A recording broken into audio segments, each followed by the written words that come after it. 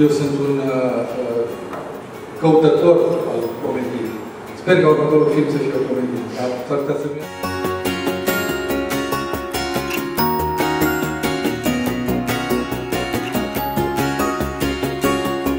Și ideea acestui film vine dintr-o experiență a noastră, pentru că ambii copii pe care îi avem, Maria și Matei, de uh, 12, respectiv 9 ani, s-au născut în acea maternitate.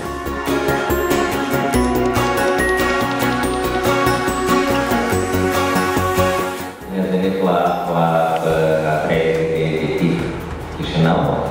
Uh, astăzi o să vedem un film care se numește Carisa.